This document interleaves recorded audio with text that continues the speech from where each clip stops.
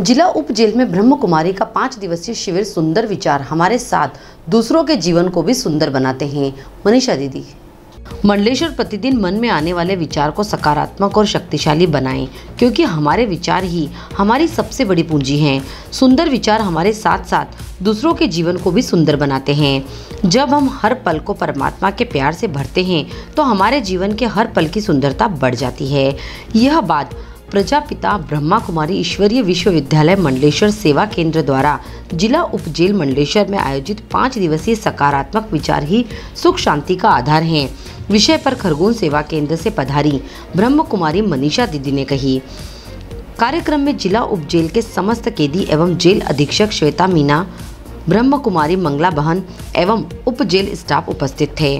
आपने बताया कि हम सभी एक जैसी दुनिया में रहते हैं, जहाँ हम समय, हमारे जीवन का एक बहुत ही महत्वपूर्ण पहलू है, जिसके आसपास हमारा जीवन घूमता रहता है। निवाड़ की पल पल की खबरों से अपडेट रहने के लिए हमारा चैनल डिजियाना न्यूज़ निवाड़ को सब्सक्राइब ज़रूर करें।